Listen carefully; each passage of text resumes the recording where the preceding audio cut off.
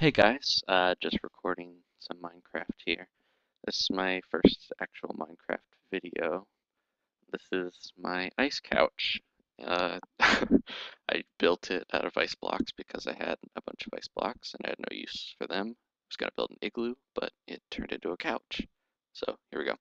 Anyways, I'm not here to show you an ice couch, I'm here to show you what's behind it. So I have been working on this kind of Japanese pagoda castle thing for a while.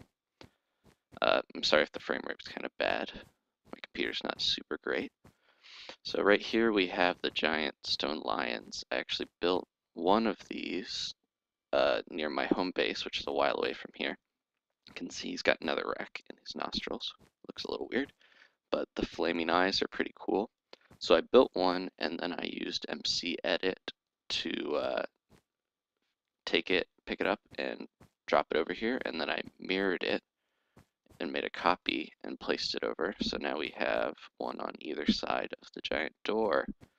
And then this is the big door here. I have not actually put little doors to block out monsters yet. I've got it on peaceful right now while I'm building. Um, and I've got a giant gate here, a torii. So these are the outer walls. I actually built all of this by hand. The materials, most of them were uh, generated. I had some of these when I started. I built the whole stone lion out of my cobblestone and realized that if I was going to build this whole thing with wood and wool and stone that it was going to take forever to mine all that materials, and I didn't want to spend my time in Minecraft mining when I wanted to be building. So I decided that I uh, was not going to do that. I know it's not the best way of uh, building for some people because they think that things are not as impressive if they haven't been legitimately earned with the materials, but uh, I think the work that went into it was enough for me. Um, I'm on the second story now. This is just the outer wall. Okay, so up here is the top part. It's a little cramped in here, but I wanted it to feel like it was an attic. So made these little ladders. And here we are on the roof of the wall. You can see I tried to light the lines up a little bit, but I didn't want to make the snow melt because as you can see, the roof has no snow on it due to all these lanterns. Uh, I def I built in the snow biome because I wanted a kind of snow castle, but placing the lanterns, I tried to place them where monsters would not spawn, but we could still uh, have some snow around here. I haven't actually turned it off of peaceful yet since I've been building, so we'll see if that actually works. But the top of the gate is filled with lanterns. Back when I played with uh, Mo Creatures on, I had another uh, torii gate in my single player, and an ogre spawned on top of it, which was terrifying. Um, down here, we'll head down. I am not on creative anymore, so I probably should not just like jump down, but oh well. I'll regenerate. Um, so most of this wall was built, I think uh, actually almost all of it, yeah, all of it was built before the 1.8 update. So I did not have creative mode. But now that I have creative mode, I've been starting to work on the pagoda that's going to be in the center. And there's a little bit of lanterns here, and it's gonna have a path around here to a little lake that I built with a tree. And then this is gonna be a place for wolves and maybe uh, horses and big cats and stuff for Mo Creatures. Uh, if anyone doesn't know, Mo Creatures is a mod that adds more animals to the game, like horses you can ride and pet cats and everything. Over here is going to be where the farm is. But anyways, this is the beginning of the pagoda bathhouse type uh, thing. It's going to be a bathhouse on the bottom floor here, and then a uh, pagoda on the top floor. Alright, I'm gonna break here for a second because I think it's probably a little too dark to show this. Okay, we're back. If I can get this to work.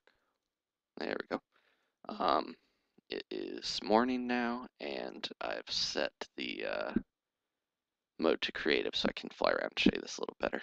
Uh, this is the bath. It's got the uh, Chinese or Japanese uh, symbol for water in there, if you can see it.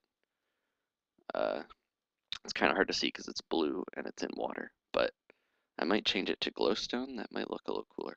Anyways, this is the pillar in the center. Now this is going to uh, run all the way up to the top of here. I built it all the way to the top that it can possibly be built because I wanted to make sure I knew where that was, but it's not going to go up this high. Uh, but the pagoda, let me go down some more so we can actually see. Um, pagoda is going to have a large first story that I've mostly finished here, and then it's going to start having smaller stories as it goes up. And uh, the bottom story is going to be this bathhouse area. I'm going to add other stuff to it. But uh, that's it for the pagoda right now. It's going to have this giant pillar, obviously, through the center to kind of look like it's a support beam. But let me, uh, turn the, the uh, view distance back up here, even though it's going to make it super slow. But I'm going to fly up and just give you a nice shot of this thing.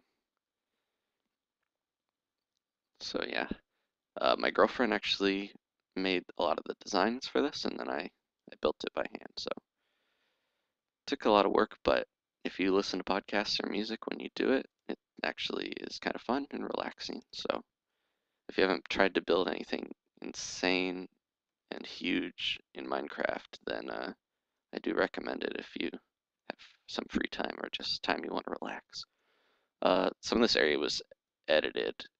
I went into MC Edit when I found the uh, snow biome over here that I wanted, and I made it lowered a little bit because I wanted to make sure there was enough room for the pagoda to go all the way up, you know, that I wanted to. But anyways, uh, these stone lions aren't perfect looking. I'm sure they'll look a little strange to you, probably.